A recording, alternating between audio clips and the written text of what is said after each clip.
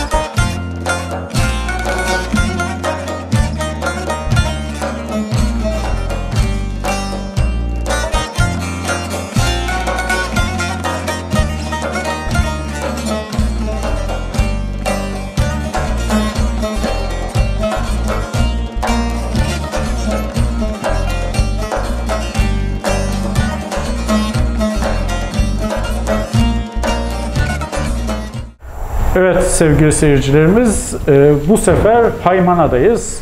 Haymana'da bir kadın kooperatifindeyiz gene ve bütün Eko Yaşam programlarında biliyorsunuz kadın kooperatiflerini yaparken e, Taner abiyle birlikte yapıyoruz. Kooperatifçiliğin üstadı Taner abi, Şirin Hanım'ın konuğuyuz. Ve burada da bir e, kadın kooperatif var. Enteresan ve çok güzel şeyler üretiyorlar. Çok güzel de bir e, atölye, imalathane kurmuşlar kendilerine.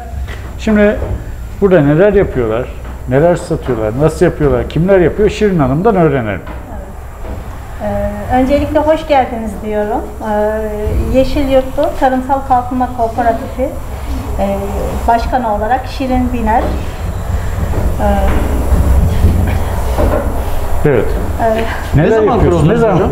Ne zaman kuruldunuz? Evet, ne zaman kurulduk? 2018 yılında kurulduk. Ee, köyde kendi imkanlarımızla yapıyorduk ilk başta. Ee, sonrasında bir projeyle e, bu atölyeyi kurduk arkadaşlarımızla beraber. Epey bir makine ekipman, çok modern makine Yatırım ekipmanlar, dondurucular, ciddi bir yatırım var burada. Nasıl başardınız?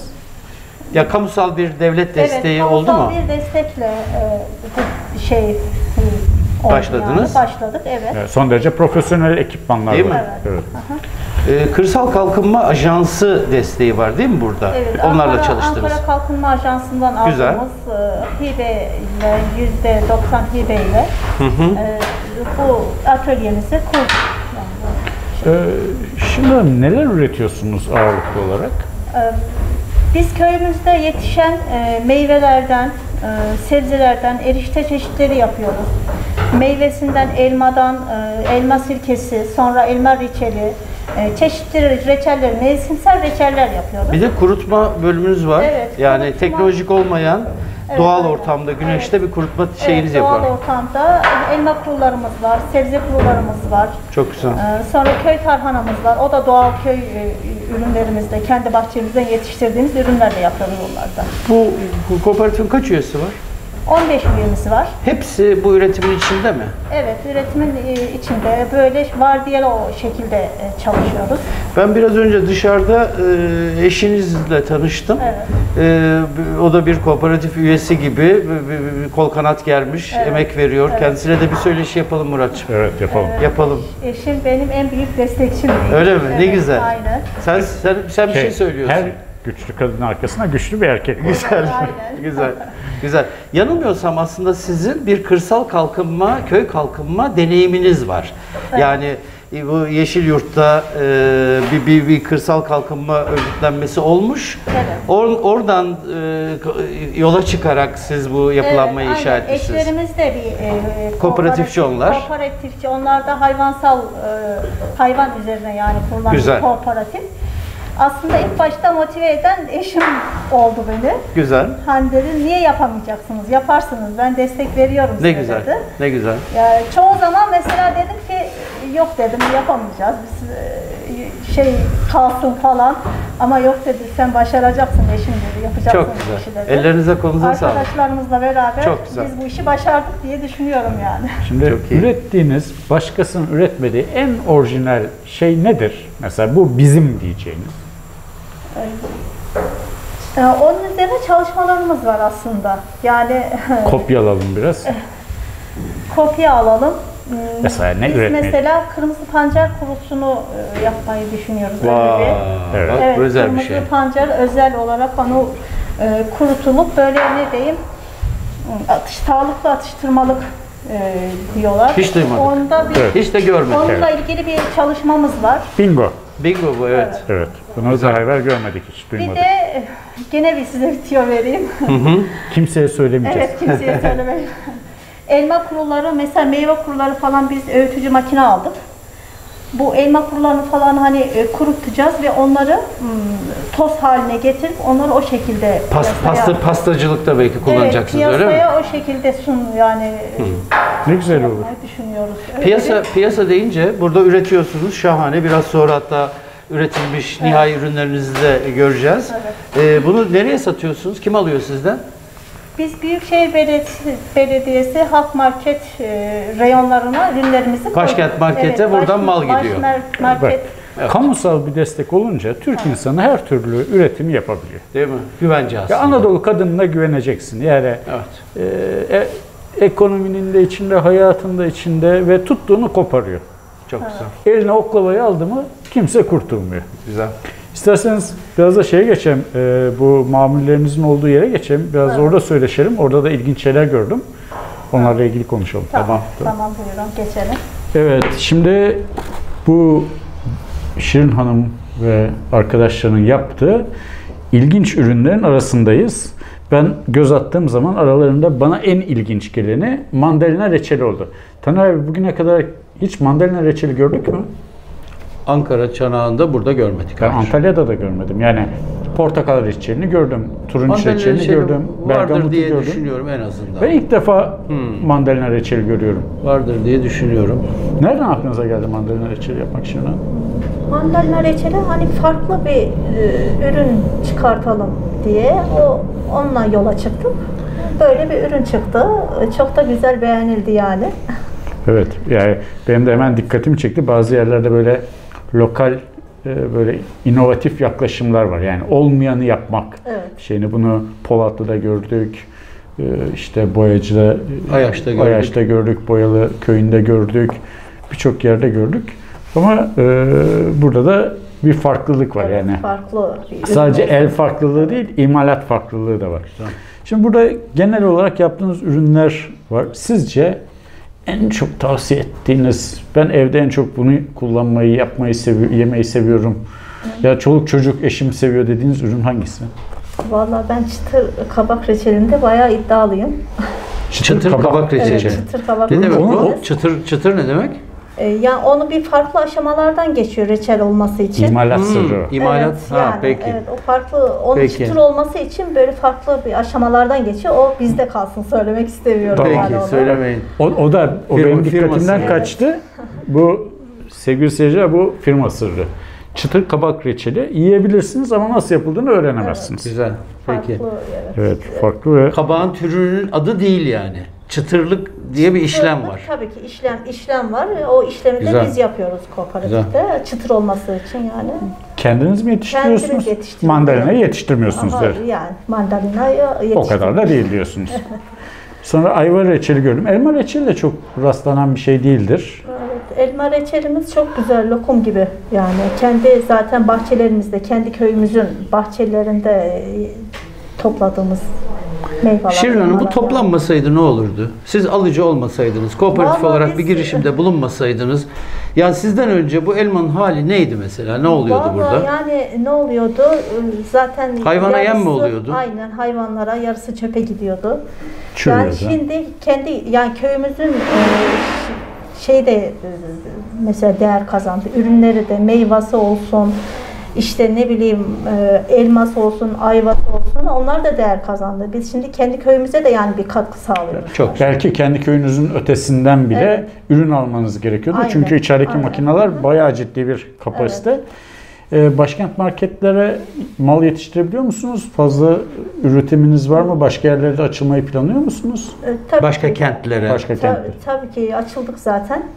İzmit e, Belediyesi'nde bir marketle yeni sözleşme Güzel. yaptık. İzmit Belediyesi burada evet, da. açılış yapacaklar. Biz de e, Ankara'dan 5 kooperatifi seçtiler. Bunlardan birisi de biziz. E, oraya ürünlerimizi ver, vermeye Diğer kooperatifleri de biz gezdik. Evet, evet. İzmit'te. Evet. Yani hep aynı e, güç, bir Kadın e, gücü. kadın gücü ve kamusal bir güç bunları destekliyor. E, atıl kapasite işte çöpe giden veya hayvan yemi olan bir sürü tarımsal ürün katma değerli ürüne dönüşüyor. Güzel. İşte bakın sevgili seyircilerimiz yani burada Değil mi bu neler var neler. Bu pancara Bu benziyor. pancarlı. Evet, Pancarlı Evet, erişte. aha. Bu Güzel. ıspanaklı erişte. Ispanaklı erişteyi de kendi ıspanaklarınızla Evet, yapıyorsunuz evet, değil mi? bahçede, bahçemizden şeye topladığımız. Ve ne kadar güzel. Bahçede ıspanak. Şu açık sarı olan ne hocam? O da havuçlu eriştemiz. Havuç. Evet. Hmm. Bu, bu bir sade eriştemiz var. Bu da- Sebzeli eriştelerimizde hiç e, su katmıyoruz. Sadece e, sebzenin suyuyla yumurtayla yoğruluyor. Öyle bir şeyimiz var. Güzel. Burada bir imalat sırrı aldık. Kimseye söylemek yok lütfen. Bu, bu da elma sirkemiz. Evet, elma sirkemiz o da. O da aynen bahçelerimizden topladığımız elmalarla yapıyoruz. Şimdi kendi ürününüzü kendiniz bu şekilde değerlendirdiğiniz için işte ilaçlamayı vesaireyi çok özenli yapıyorsunuzdur. Evet, Muhtemelen böyle organik değilse bile organiğe yakın bir üretim biçiminiz Aynen, vardır. Aynen. Aynen. Dolayısıyla öyle endüstriyel üretimlere benzemiyordur diye düşünüyorum. aynen. Bu neyi kuruttunuz? Elma var. O elma kurumuz, Bu- bu da biber kuruları. Hmm. Bunlar da bahçemizden. Biberler de kendi Evet. bahçenizde. Evet. Üzerine de yazmışsınız bazıları acılı. Acılı, evet. Acı biberden. Evet, acılı Hmm. biber. Çok güzel. Okrolarımızı da göl başında Maya Market oraya veriyoruz. Onlar alıyorlar. Çok güzel. Çok güzel. Evet. Evet. Yani bütün gezdiğimiz kadın kooperatiflerinde aynı gücü görüyoruz. Türk insanı çalışmak, üretmek e, ve ürünlerini değerlendirmek, israfı engellemek ve tabii ki daha iyi yaşamak istiyor. Ama gözlemlediğim şey şu, hepsinde böyle son derece modern makine ekipmanlarla desteklenmişler. E, sınai güç ile el emeği birleşmiş, o el lezzeti birleşmiş ve hakikaten nefis ürünler çıkmış. Evet biz bu kadın kooperatiflerine gezmeye devam edeceğiz. Hatta Haymana'da bir kadın kooperatifinde e, Haymana'nın termal suyuyla sabun yaptıklarını öğrendik. Hatta şampuan falan Şampuan yapmışlar. falan yapmışlar. Evet. Onları da önümüzdeki hafta yanılmıyorsam Evet, değil mi? Yaparız o Bir iki hafta içerisinde onu da yaparız. Haymana ilginç bir yer. Burada keşfedecek çok şey var. Çok lezzet de var. Yani işte sucuğu ve koyun yoğurdu özellikle. Koyun Evet. yoğurdu sevenler için. Koyun Koyun yoğurdu hakikaten e, vazgeçilmez bir şey. Sucuğu da çok güzel. Ben bütün sevgili seyircilerimizi Haymana'yı ziyaret etmelerine, e, kaplıcalarda kalmalarına, buranın suyu dünyanın en iyi suyu. Yani tescilli Evet, değil mi? Vichy kesinlikle. kaplıcalarından Vichy'den daha sonra, iyi. Yani evet. Kaplıcalarıyla meşhur. Yani. Evet. Yani Ankara'ya çok yakın e, vakit geçirmek, eğlenmek, dinlenmek ve e, sağlıklı beslenmek için müthiş bir yer. Bence de.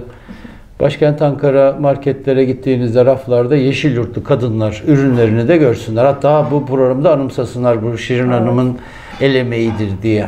Evet. Ve sizler de müşteri olursanız, müşteri olarak buraya destek verirseniz bunlar da gelişecektir. Yani evinize korkmadan doğal, sağlıklı ve el emeği ürünler sokmuş olacaksınız. Ve emin olun fiyatlarda hiç e, öyle sanayi malların çok çok üstünde değil, rekabet Evet, edebilir aynen. düzeyde.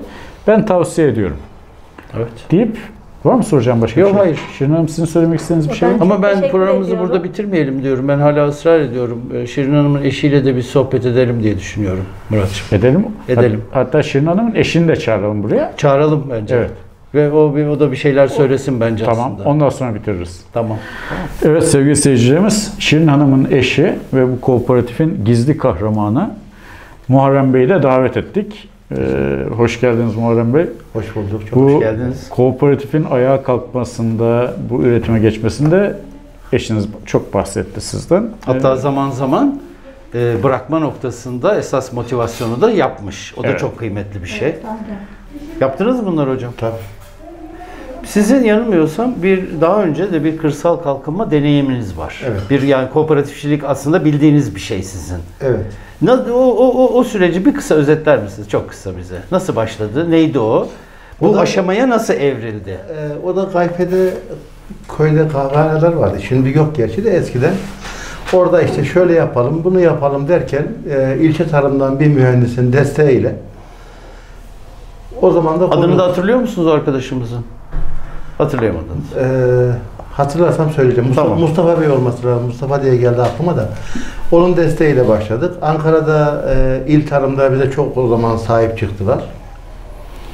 11 kişiyle kurduk. 11 tane o zaman delikanlıyla kurduk. Şimdiki Köy 11 Kalkınma Kooperatifi Evet, o. köy, 11 baba yiğitle kurdunuz. evet 11 baba ilk O şey miydi? Eşiniz öyle söyledi. Hayvancılık üstüne Evet, ya. hayvan- Sü- süt hayvancılık, müydü? sütçülük üzerineydi. Sütçülüktü. Hmm. Ama maalesef şartlar e, zorlaştıkça sütçülükten, hayvancılıktan in- insanlar uzaklaştı.